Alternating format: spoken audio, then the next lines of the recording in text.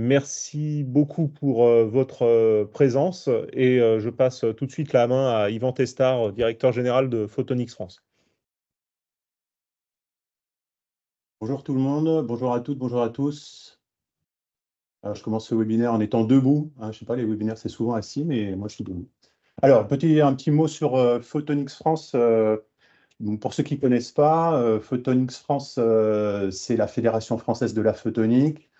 Nous avons été créés en 2018 et notre, nos missions générales, en fait, c'est de représenter, de promouvoir, d'animer, de coordonner euh, la filière photonique française en essayant de, mener des actions euh, à la fois pour la filière et puis évidemment euh, pour nos, adhérents qui sont aujourd'hui 200 à peu près en, France. un petit mot sur la photonique française en chiffres que vous voyez ici. Nos dernières données en fait récentes sur l'année 2022 euh, sont celles que vous voyez euh, à l'écran. Donc, la filière française aujourd'hui, c'est plus de 1200 entreprises, euh, un chiffre d'affaires en France de plus de 20 milliards d'euros, avec une croissance 2022 versus 2021 de 10%. Et, c'était 10% également l'année précédente. Donc, on voit que cette filière, et vous le savez toutes et tous, qu'elle est en, forte croissance. Et si on regarde, je vais juste me focaliser sur, sur les emplois et on verra ça plus tard. Euh, les emplois estimés aujourd'hui, c'est près de 84 000, 90 000 peut-être emplois euh, en, France, avec une croissance euh, estimée de près de 8 000 nouveaux emplois par an. Peut-être si on peut passer à la, slide suivante, Léa, s'il te plaît, merci beaucoup. Donc, au sein de notre association Photonics France, nous avons depuis quelques années une priorité, c'est la formation et l'emploi. c'est d'ailleurs pour ça qu'aujourd'hui on est là et qu'il y a quatre ans, à peu près jour pour jour, euh, je suis allé voir euh, le cabinet du ministre pour créer ce, bac professionnel optique photonique dont on, va parler euh, aujourd'hui. aujourd'hui, comment ça se traduit cette priorité? En fait, c'est bah, évidemment la création ou le soutien, hein, possiblement auprès d'organismes de, formation, à la création, le maintien, le développement de, diplômes de formation. Pour ceux qui ne le connaissent pas, en fait, on a créé un site internet dédié à l'orientation qui s'appelle orientation-photonique.org. Si vous ne le connaissez pas, s'il vous plaît, allez-y, utilisez-le. On le verra juste euh, euh, en toute fin de ma, présentation. Euh, nous venons de développer un kit communication RH qui est dédié aux, organismes de formation, aux entreprises, qui est disponible sur ce site, effectivement, des offres d'emploi, des stages, etc. Si on peut, on peut continuer sur la slide suivante. Voilà, merci. Alors pourquoi on est là en fait aujourd'hui? Parce qu'on a voulu créer ce, bac professionnel et en 2021, avec le ministère du Travail et notre OPCO2I, on a mené une étude qui nous a, euh, auprès des entreprises euh, de la photonique française, qui a montré et révélé effectivement quelque chose qu'on savait déjà euh, par, nos, par nos échanges réguliers, c'était ce manque de formation au niveau des bacs et qui était attendu par les entreprises, puisque comme vous le voyez, en fait, hein, ce qu'on dit là, ce sont les, conclusions de cette étude qui montraient qu'en fait, beaucoup d'entreprises recrutaient des diplômés à Bac plus 2, Bac plus 3 pour des métiers d'opérateur. Et donc finalement, on se rendait compte qu'on avait un décalage en termes de, par rapport au diplôme et par rapport au métier, donc avec euh, des jeunes qui avaient des BTS ou des, des, des, des licences pro, qui étaient embauchés pour faire des métiers d'opérateur et parfois des ingénieurs pour faire du métier de technicien. Donc, en fait, ce bac pro, on va le voir, en fait, permet de, de, remettre les choses à leur place. Si on peut passer à la slide suivante. Merci. Et en fait, ce, bac, bah, comme je le dis, en fait, il s'inscrit finalement dans le développement de la filière de formation photonique en France. Et quand on regarde ce panorama euh, qu'on a estimé aujourd'hui, et encore une fois, qui est sur euh, notre site Orientation Photonique, vous voyez qu'en fait, euh, effectivement, il n'y avait pas de bac pro. Il y a un BTS photonique que vous connaissez tous, en fait, et qu'on a, on a rénové d'ailleurs à l'occasion de la création de ce bac pro. Un BUT, mesure physique, qui est, beaucoup utilisé par les employeurs aujourd'hui pour les BUT, des licences professionnelles, et puis effectivement beaucoup de masters, de masters pro et d'écoles d'ingénieurs un, petit peu, un petit peu partout en France. Mais finalement, on voit hein, au début de la filière sur ce bac pro, sur ces métiers d'opérateur et de technicien, on, est vraiment peu outillé. Et donc, finalement, c'est le total de diplômés aujourd'hui en France, c'est de à peu près 1000 euh, euh, avec euh, l'ensemble de ces formations. si on peut passer à la suite. Merci. Et donc, toujours dans le cadre de cette étude, en fait, on a réalisé une, mesure hein, des besoins en recrutement de, notre filière. Et cette estimation par ce cabinet Q était de 8000 recrutements par an prévus d'ici 2025 entre 2021 et 2025.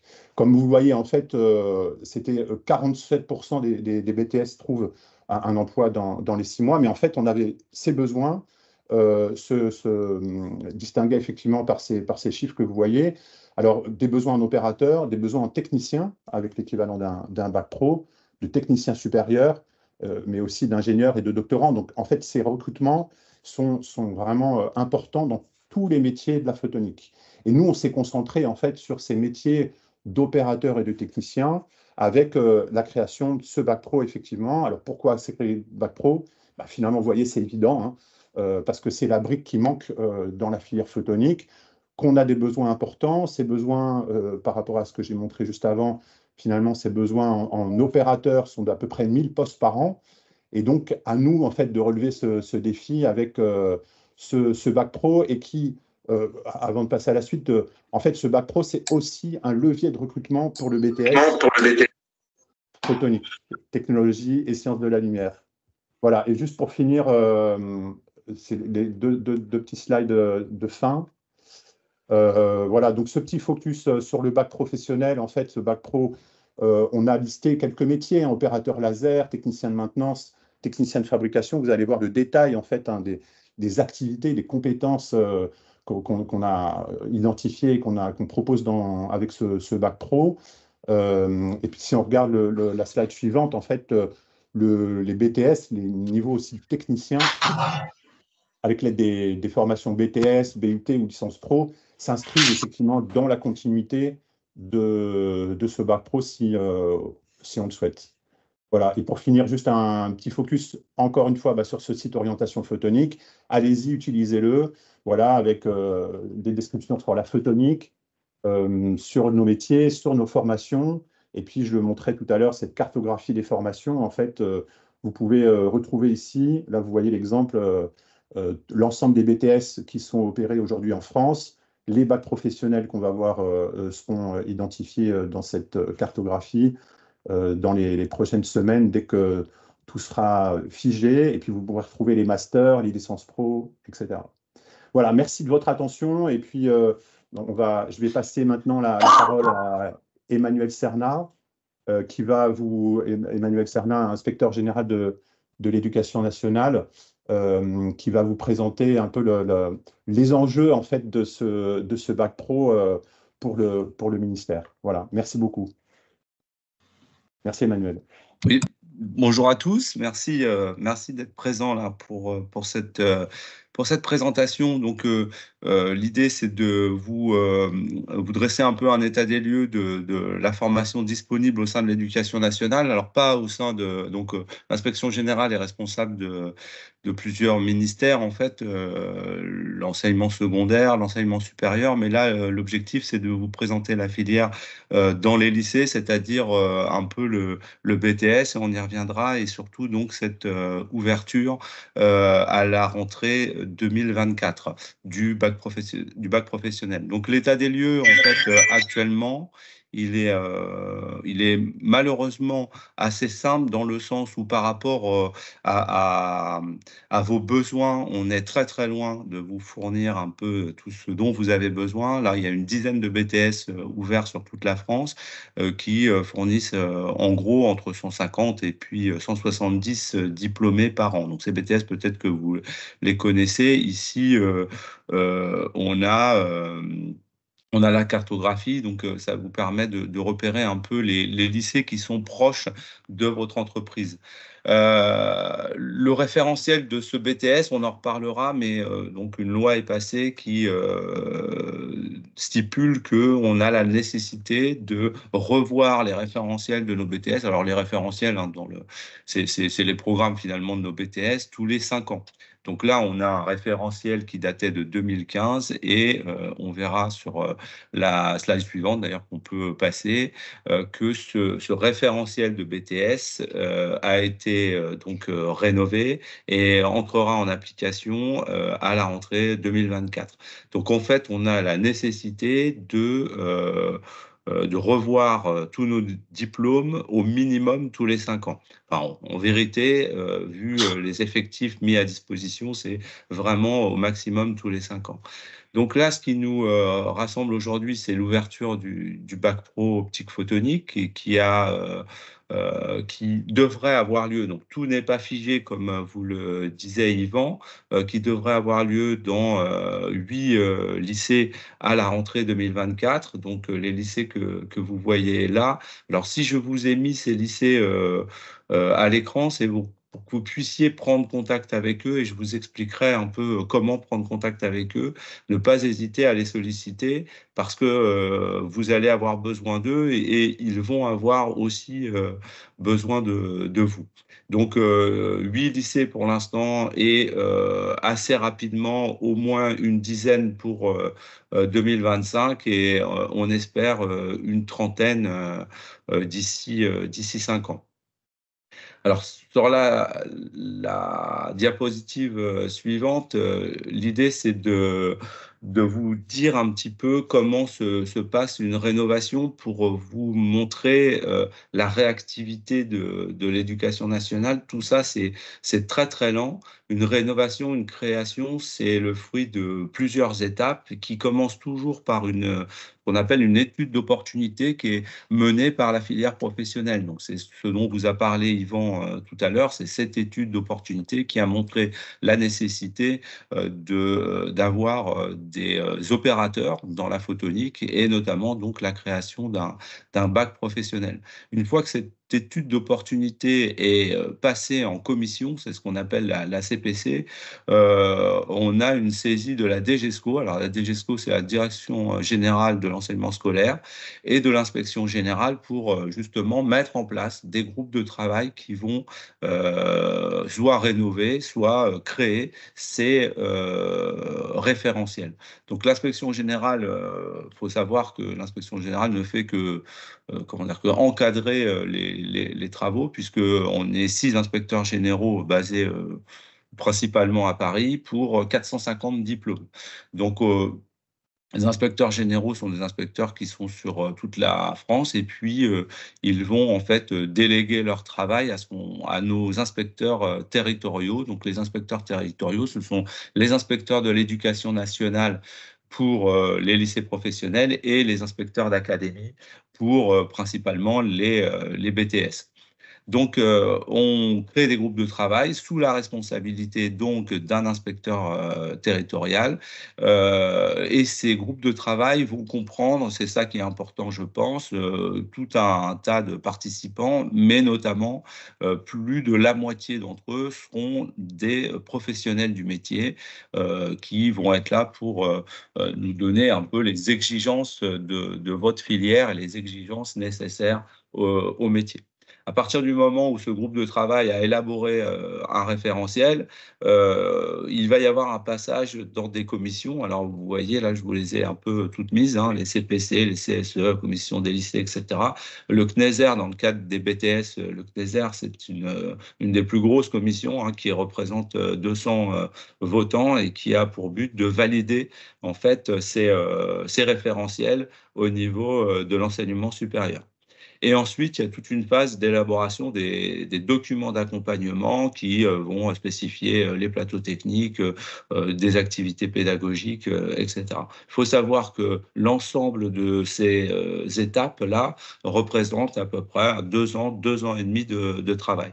Donc cette réactivité, à partir du moment où on a besoin d'un diplôme, où on a besoin de le rénover, vous voyez que c'est assez long pour qu'elle soit en en action finalement.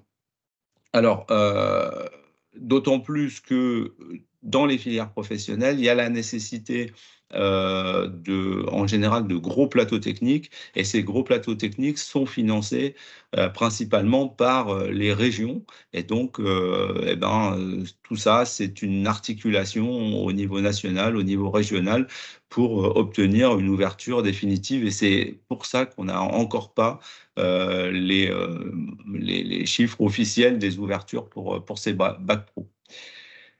Euh, donc, euh, en quoi on a besoin de vous? Eh bien, on a besoin de vous parce que euh, on va nous promouvoir l'ouverture de, de, ces bacs professionnels. Hein. Il faut savoir que là, les, les, les, élèves qui rentrent en bac professionnel sont des élèves qui, en théorie, sortent de la troisième que c'est une filière qui n'existe pas et que pour que euh, ces élèves euh, se dirigent vers cette filière, il va falloir euh, la promouvoir au sein des lycées, mais surtout au sein des collèges.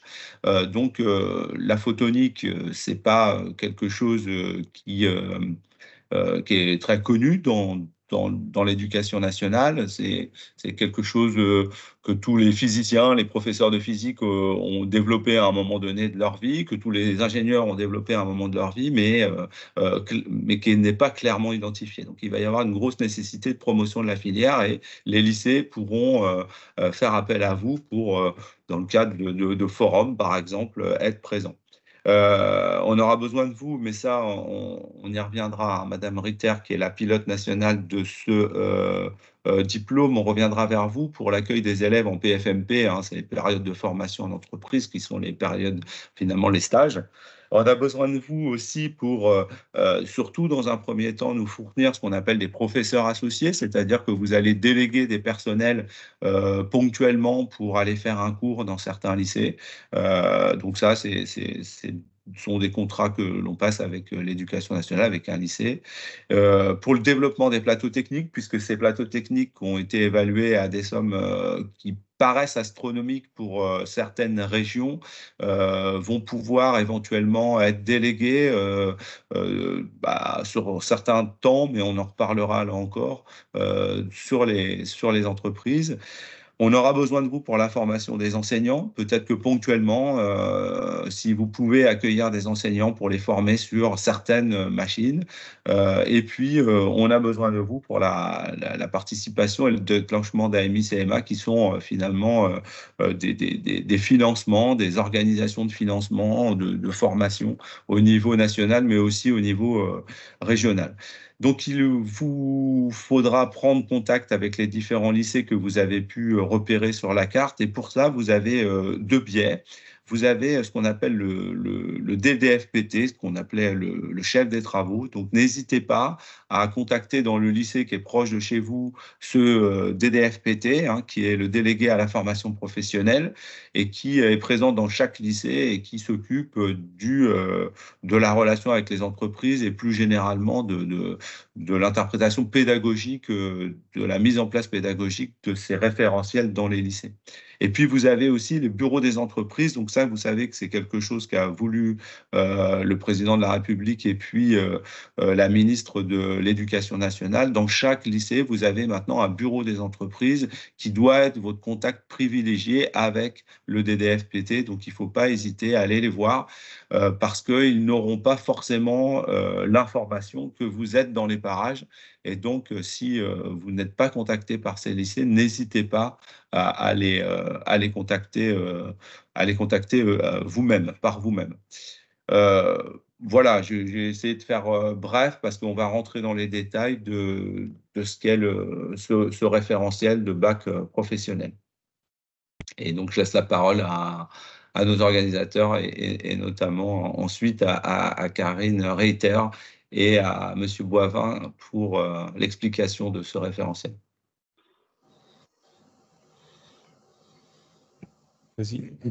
Euh, effectivement, bah merci, merci Emmanuel. Euh, on va passer la parole à Karine Reiter et Jean-Claude Boivin.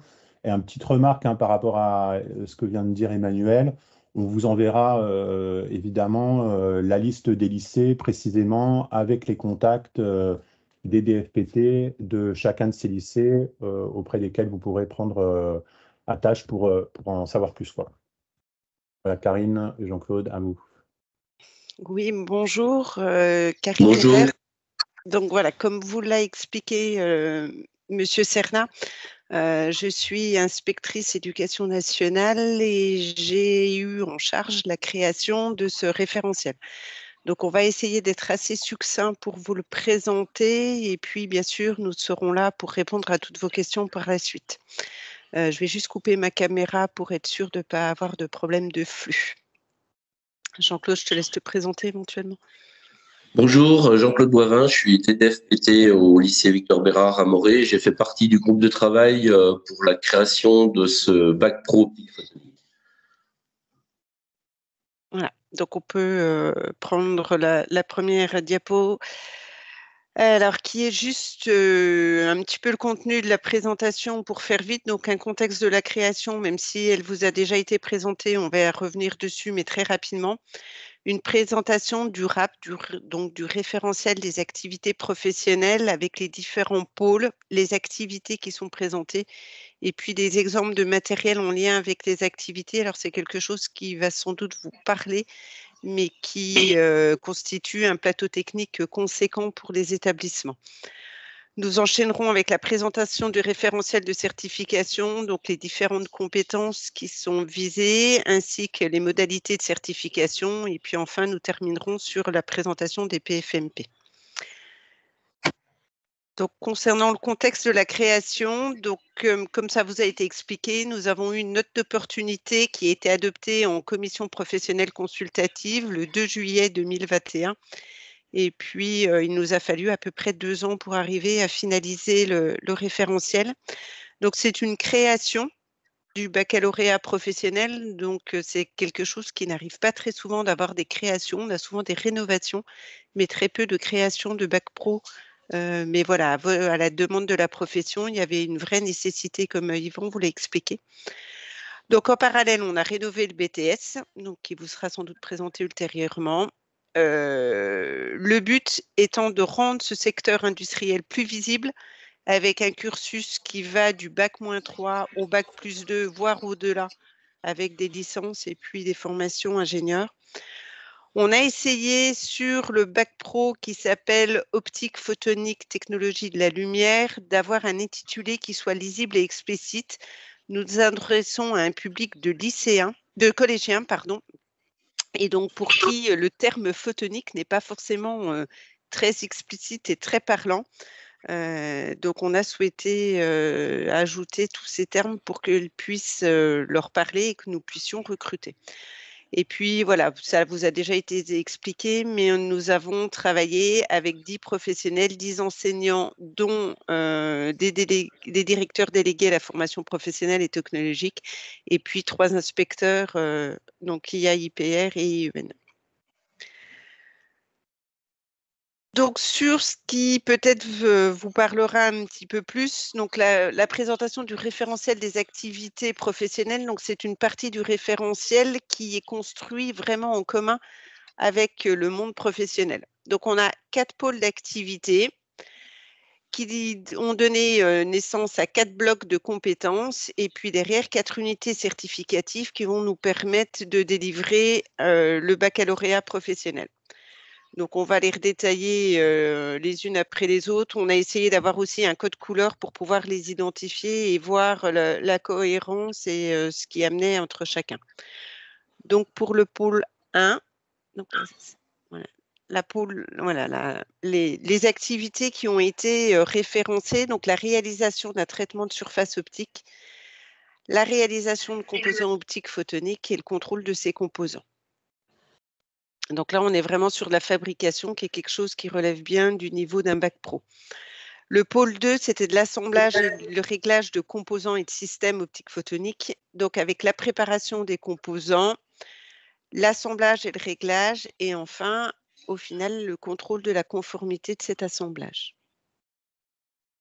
Sur le pôle 3, on est sur la mise en œuvre et la validation d'un système optique avec l'installation et la mise en service, la validation des caractéristiques et des performances, et puis enfin le renseignement de documents de contrôle.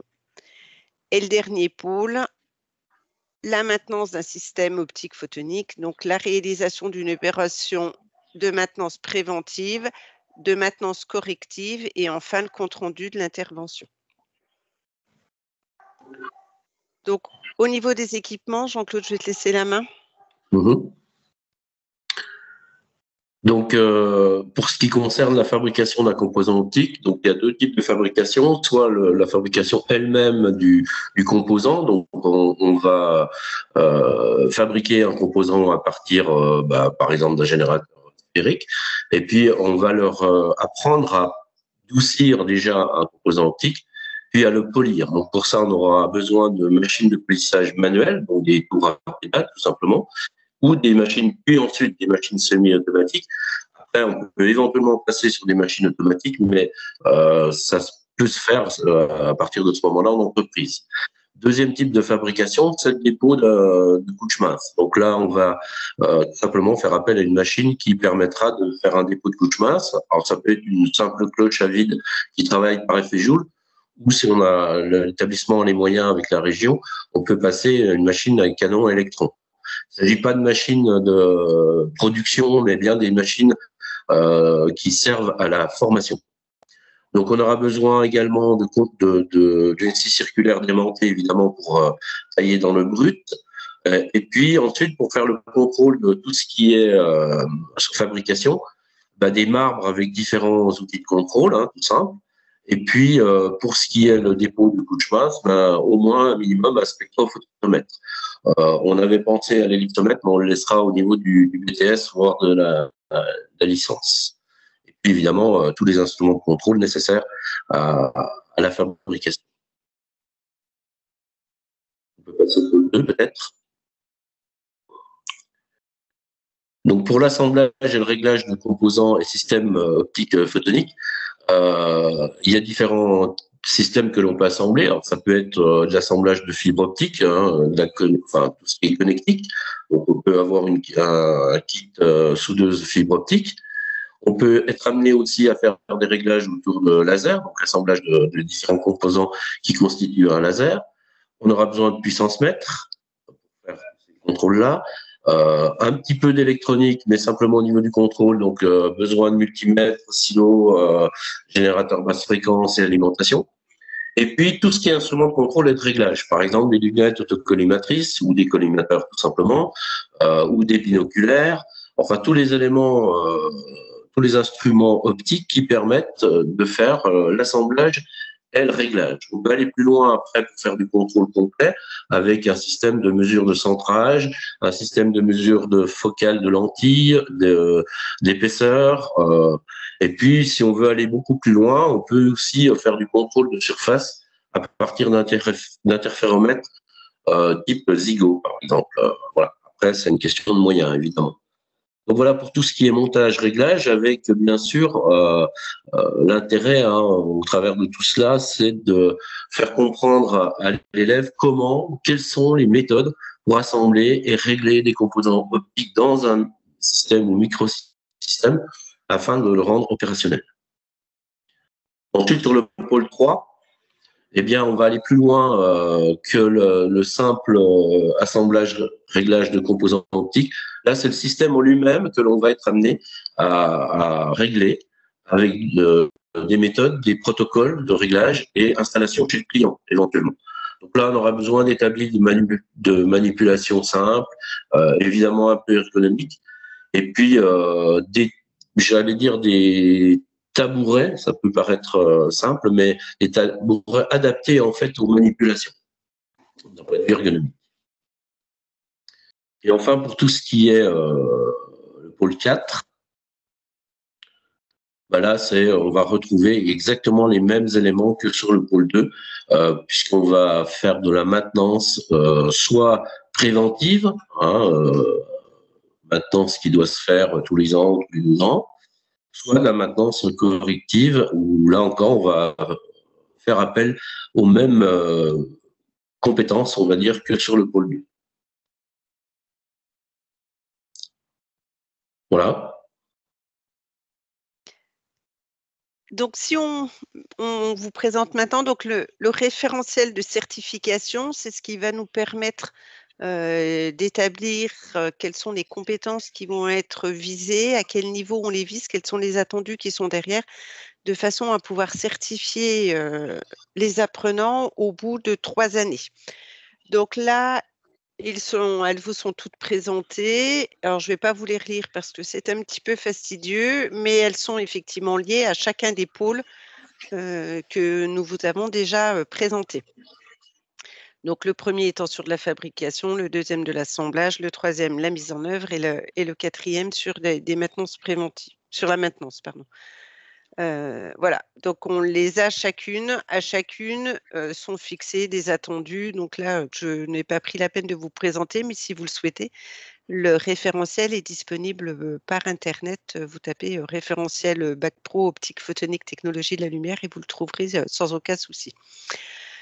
Donc, une fois qu'on a défini ces certifications au, cours, au, cours, du cursus et à l'issue de ces trois années de formation, nous allons avoir les épreuves euh, de certification qui sont présentées sur la diapositive suivante. Donc, la particularité d'un baccalauréat professionnel euh, comparé à une, euh, une formation qui est purement professionnelle, c'est qu'elle intègre l'enseignement général. Donc, au niveau des unités de certification, on a l'enseignement général qui est inclus donc, sur notamment la première unité.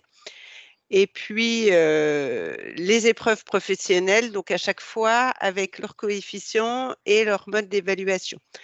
Donc, on a du ponctuel écrit. Donc, ça, je pense que vous voyez très bien ce que c'est. Donc, le ponctuel écrit, c'est une épreuve à un moment donné qui est commune à l'ensemble des filières qui sont sur le territoire. Et puis, par contre, on a ce qu'on appelle le CCF, donc le contrôle en cours de formation, qui est en fait un suivi des compétences tout au long de la formation du jeune. Donc, que ce soit au sein de l'établissement de formation, mais également au sein des entreprises, et puis qui amène à faire plusieurs évaluations de cette compétence sur plutôt sur la fin du cursus et qui va amener à mettre euh, une, une, note qui va permettre d'évaluer l'élève. Donc, si on regarde au niveau des coefficients, euh, on a euh, nos coefficients pour nos épreuves professionnelles, donc U2, U31, U32, U33, qui représentent 13, 13 euh, points sur les coefficients. Mais l'enseignement général, si vous le regardez, il a vraiment une très grande part aussi sur l'obtention de ce bac pro à la fin. Et puis un dernier point de la formation qui est très importante aussi, c'est ce qu'on appelle les périodes de formation en milieu professionnel. Voilà, qui sont les formations en entreprise, alors qu'on a l'habitude d'appeler stage, mais les termes ont vraiment leur importance. Quand on parle de période de formation en milieu professionnel, on est bien sur de la formation et on vous associe effectivement à cette formation. Donc, on va avoir 20 semaines qui seront réparties sur trois années de formation.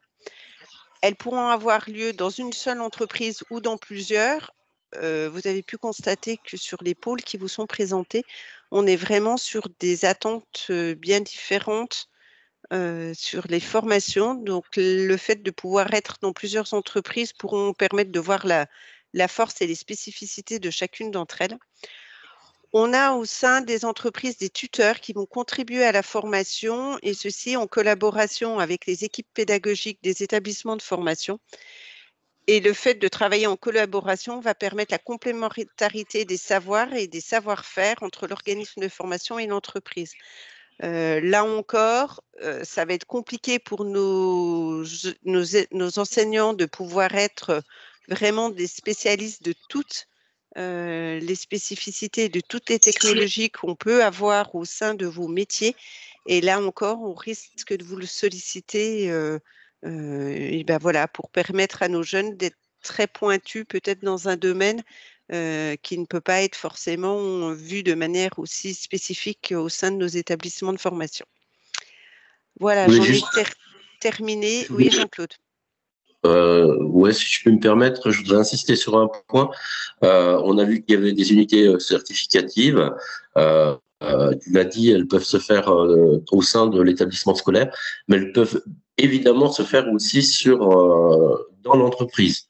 Hein, ça, c'est important parce qu'on peut organiser une épreuve dans l'entreprise en lien avec le tuteur, l'équipe pédagogique.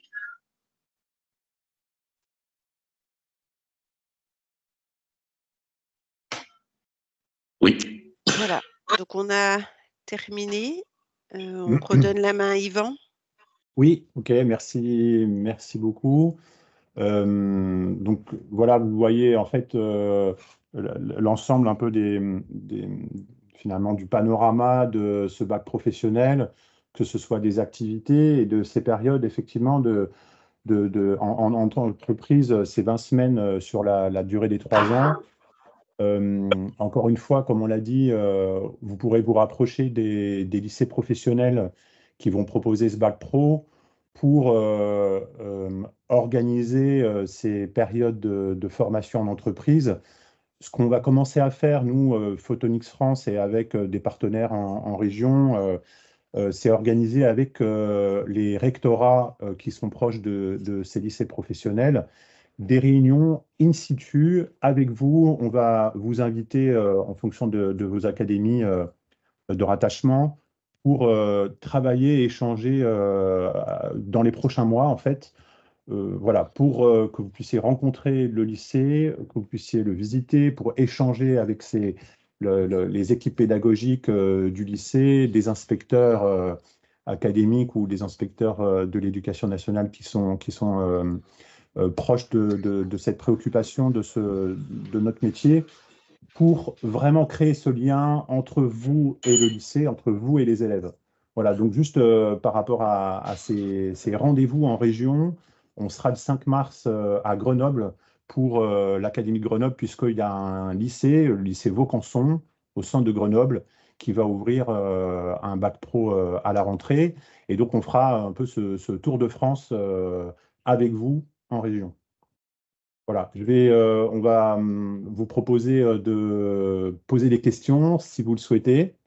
donc, je vais peut-être laisser la, la, parole pour les consignes à Fabrice et Léa pour la suite. Bah, si vous avez des questions, je vous invite à lever euh, virtuellement la main euh, et je vous, euh, je vous signalerai quand vous avez la parole. À, votre, à vous de jouer.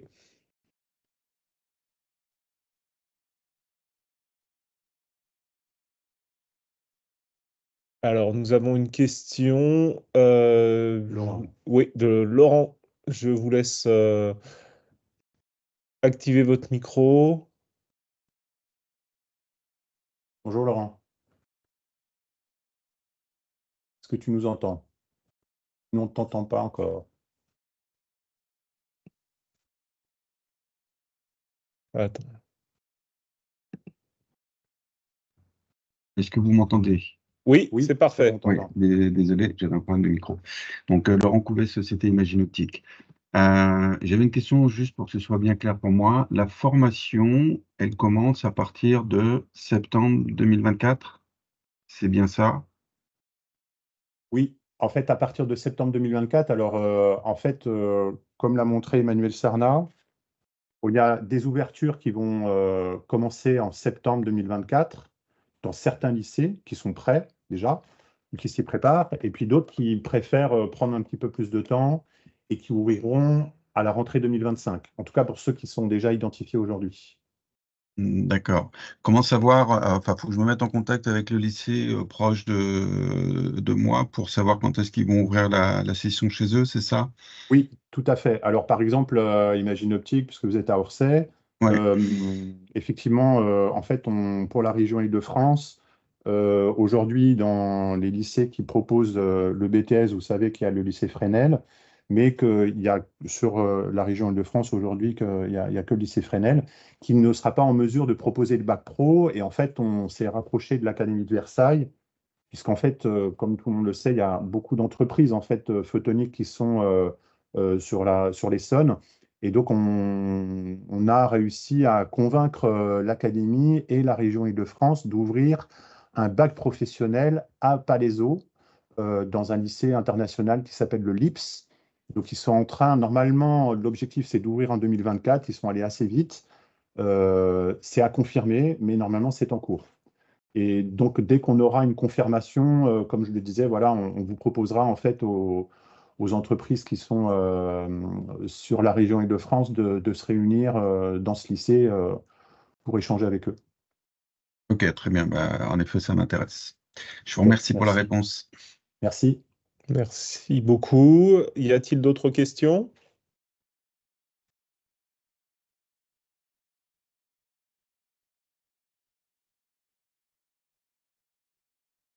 La parole est à vous. Vous pouvez lever la main virtuellement. Oui. Nouvelle, euh, nouvelle, intervention, allez-y. Ok, c'est de, donc de nouveau Laurent Couvet. Euh, vous avez parlé des 20, enfin pour la, période, ce que moi je vais appeler de stage, je ne sais plus comment vous avez appelé ça. Vous avez parlé de 20 semaines réparties sur les trois ans. Euh, donc ça fait à peu près du, du 7 semaines par an. Euh, justement, c'est réparti comment? C'est cette semaine la première année, cette semaine la deuxième année, cette semaine la troisième année? Non. Euh, je peux répondre, si vous voulez. Euh, en principe, on fait six semaines sur la première année, qui, sont, qui sont généralement situées en fin de première année parce qu'ils sont en seconde, donc il faut quand même le temps qu'ils acquièrent certaines compétences pour aller ensuite en entreprise on sera plus sur une découverte euh, des activités de l'entreprise. Ensuite, en première, euh, il y aura deux périodes de, de, quatre semaines, deux fois quatre, c'est huit. Et puis en terminale, normalement, on fait une période de, six semaines.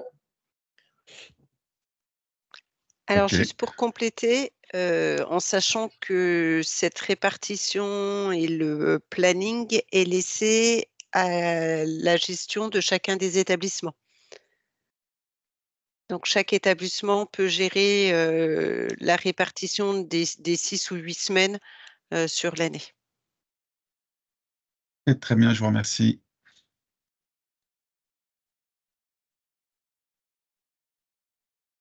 Alors, est-ce que, est que, vous avez des, questions sur les lycées, les, régions? Si vous voulez, on peut revoir la. Ah, nous avons une main qui se lève. Oui. À vous la parole, Jean-Marc. Oui, bonjour, c'est Jean-Marc Lutier de Trioptics. Euh, je, voulais savoir si, euh, pour, pour, que, pour que ces, euh, ces bacs pro fonctionnent, bah, il faut des, étudiants, et puis il en faut beaucoup, qui aient envie d'aller dans le, de s'orienter dans le domaine technique. Et je voulais savoir s'il y avait quelque chose qui était prévu pour, pour leur donner envie, pour leur donner envie, bien sûr de les informer, mais aussi de leur donner envie on sait aussi les, les jeunes sont très orientés réseaux sociaux, etc. Donc, je voulais savoir à ce niveau-là s'il y avait quelque chose qui était, prévu. Je pense que la, réponse, en fait, elle est euh, double. C'est que à la fois euh, les régions, les rectorats, les lycées professionnels, comme ça a été dit tout à l'heure, vont organiser euh, des, manifestations, par exemple comme euh, des, salons professionnels, des portes ouvertes, etc., pour attirer euh, et faire connaître euh, les bacs pro ils vont ouvrir dans les prochaines semaines. En fait, là, il y en a certains qui que je connais qui l'ont, déjà fait.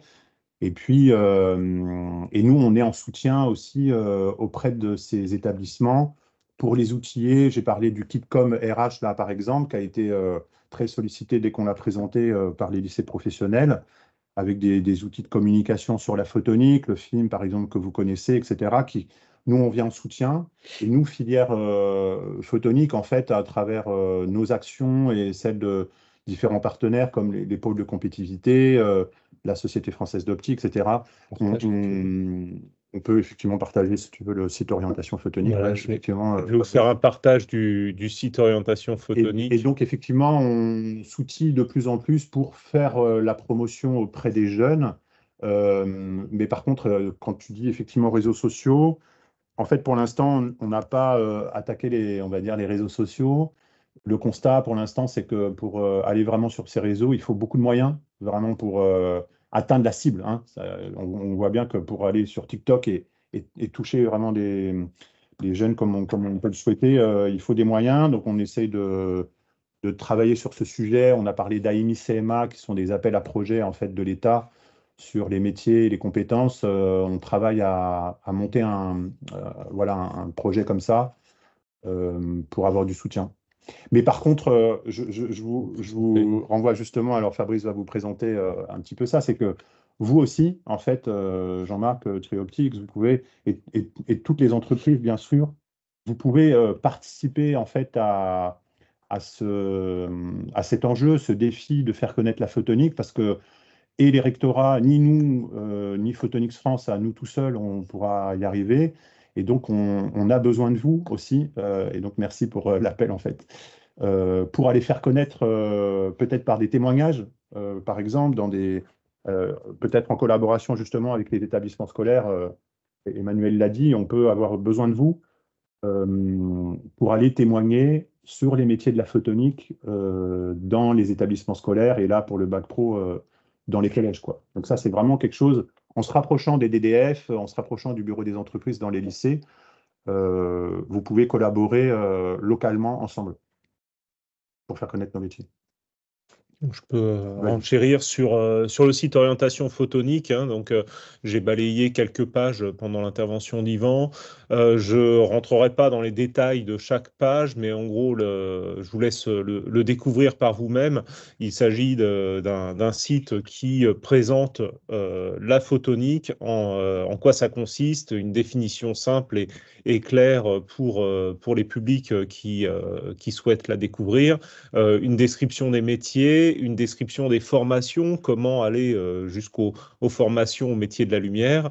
Et euh, pour ce qui nous intéresse euh, aujourd'hui, je vais m'arrêter notamment sur les outils de communication. Donc c'est ce qu'on appelle chez nous en interne le kit communication qui va donc s'adresser à vous. Donc ce, kit s'adresse donc à, tous les prescripteurs, entreprises ou, enseignants qui veulent faire la promotion de, ces, métiers, de cette filière. Donc, vous avez euh, la possibilité de récupérer des outils de communication euh, en fonction euh, bah, de qui vous êtes, de la personne, du public auquel vous allez vous adresser, donc quel que soit le niveau, dans quel contexte, si c'est pour une intervention scolaire, salon ou simplement, parfois, simplement une aide à rédiger une offre d'emploi ou un communiqué et euh, donc euh, des types d'outils qui sont euh, des outils qui seront des, recommandations rédactionnelles, des supports multimédia ou des supports imprimés. Je balaye rapidement ces, outils hein, qui, donc, qui vont se réduire en fonction de votre besoin, des, définitions de la photonique. si je prends un exemple tout simple, voilà, des, définitions simples qui vous permettent d'introduire une, offre d'emploi ou d'avoir une description simple sur un PowerPoint pour euh, faire une intervention euh, auprès de, public, des définitions plus techniques, des recommandations d'usage à, chaque, euh, à chaque fois. Si je revient sur d'autres exemples. Vous avez aussi des, un rassemblement de tous les supports multimédia pour la présentation des métiers, des vidéos, les vidéos qui sont centralisées sur notre chaîne YouTube, mais avec des, des, précisions. Euh, sur le multimédia, je pense que c'est quelque chose qui fonctionne bien. Je prends, je prends le temps de, de, présenter tout ça.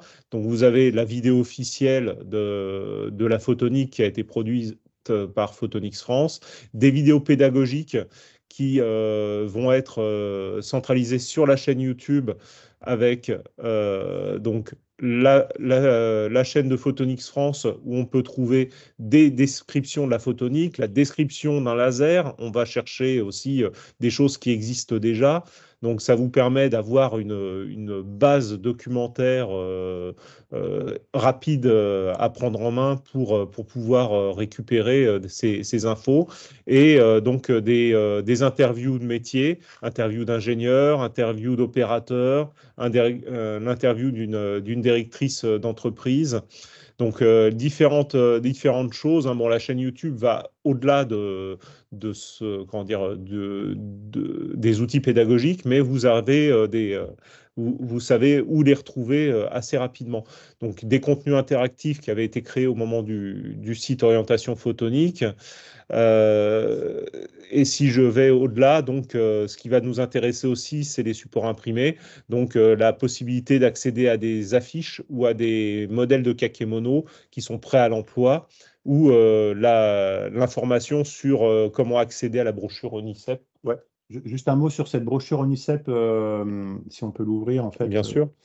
Euh, on a réalisé, je parlais de, l'étude en question là avec euh, le ministère du Travail, en fait, de manière un peu plus large, on a réalisé euh, différentes choses comme le, site orientation photonique et une brochure, si vous ne la connaissez pas encore, ONICEP sur les métiers de la photonique et l'électronique. Et vous voyez qu'en fait, vous pouvez la télécharger. C'est très utilisé. en fait, on en a juste devant nous, Fabrice et moi, encore quelques cartons qu'on peut envoyer, qu'on peut vous envoyer, vous, entreprise si vous souhaitez l'utiliser pour, euh, par exemple, comme on le disait, euh, participer à, des, interventions euh, sur des salons ou, sur, dans, des établissements scolaires pour faire connaître nos métiers. Voilà. Mais vous pouvez télécharger cette brochure directement sur le site de, de gratuitement. Voilà, peut-être pour répondre à, à, à, à ta question, Jean-Marc, un petit peu un panorama de, c'est l'occasion de, présenter un peu ce qu'on fait. Quoi. Merci. si, je peux juste me permettre aussi euh, de compléter un petit peu les propos par rapport au recrutement, c'est vrai qu'on va avoir euh, un vrai enjeu de recrutement et qu'on aura besoin de vous pour nous accompagner. Euh, il faut quand même savoir que que ce soit le lycée qui accueille ou que ce soit pour le, dans le cadre, alors on va dire des stages parce que c'est plus facile à dire que PFMP, mais on peut aussi avoir le système des internats. À savoir que le lycée qui forme peut avoir un internat, donc le, ça peut être un jeune qui vienne un petit peu loin et qui est interne dans cet établissement, mais on a aussi, en se rapprochant des lycées d'accueil et donc des DDFPT, la possibilité de mettre dans un internat proche de votre entreprise un élève pendant ses, euh, pendant ses stages. Donc ça peut être aussi une solution, même si ce n'est pas un jeune euh, qui est proche soit du lieu de formation, soit de votre entreprise, mais que ce soit un jeune motivé qui vienne faire ce baccalauréat professionnel. En espérant avoir été clair. Merci beaucoup. je passe la parole à Alexis Diagre qui a demandé Bonjour Yvan, bonjour tout le monde. Euh, désolé, j'ai rejoint la, conf un petit peu en retard, donc si je repose une question qui a déjà été abordée. Euh, donc Alexis Liagre, Edmund Optics France, je, voulais savoir quelle était la place qui était euh, consacrée aux langues, aux langues étrangères dans le cursus et si il y avait la possibilité de réaliser tout ou partie de son expérience en entreprise en dehors de la France, en Europe, voire effectivement même au-delà des frontières européennes. Alors, on a une langue vivante qui est prévue au sein de la formation et comme tous nos baccalauréats professionnels, ils bénéficient bien évidemment de, des projets Erasmus.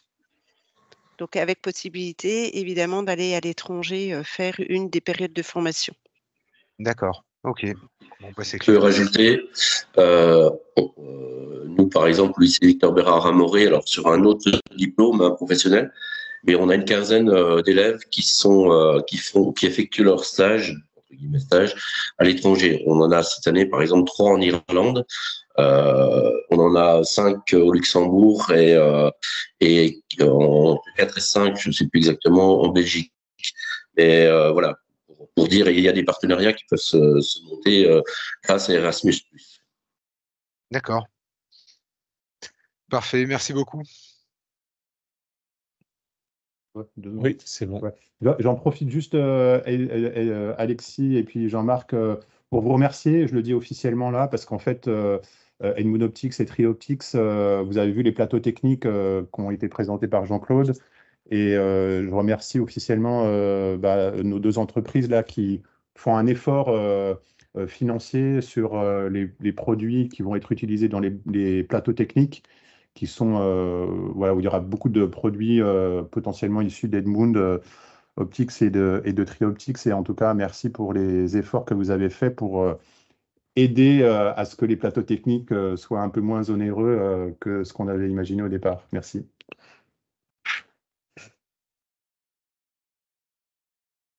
Merci. avec, plaisir. Merci beaucoup. y a-t-il d'autres questions?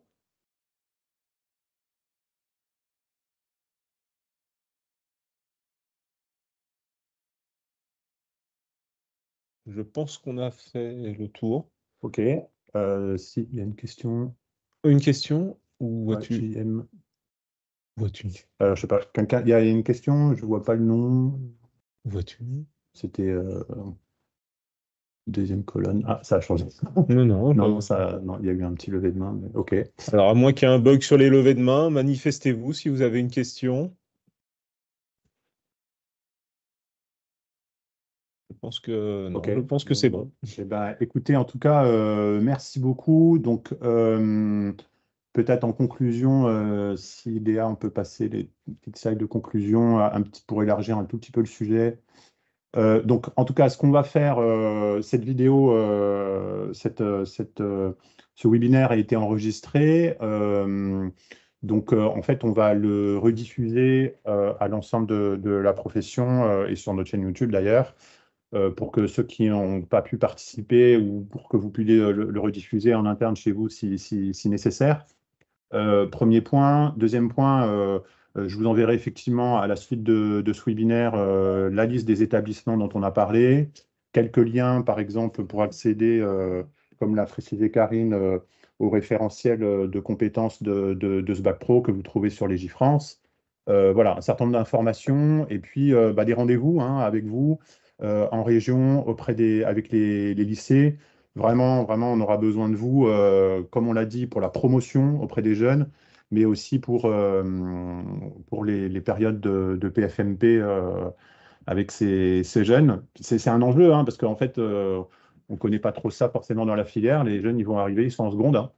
Donc, c'est aussi un, sujet de, de discussion pour qu'on puisse accompagner ces jeunes euh, tous ensemble quoi, vers euh, ce bac pro pour euh, nos futurs opérateurs.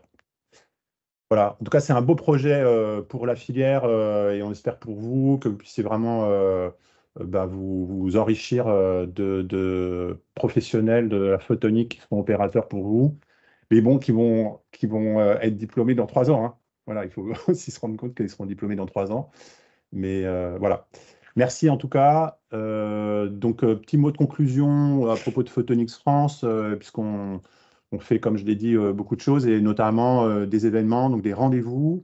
La semaine prochaine, on organise un business meeting, donc une journée de travail avec l'ONERA. Donc, bon, les inscriptions sont closes, mais en plus, on a plus de 90 personnes qui vont venir. On en prépare un en ce moment, la photonique pour l'agriculture, le 31 mai à Rennes. Les business meetings, c'est un rendez-vous avec des donneurs d'ordre euh, d'un marché spécifique et puis des fournisseurs de technologie, des partenaires potentiels pour travailler sur ce, sur ce sujet.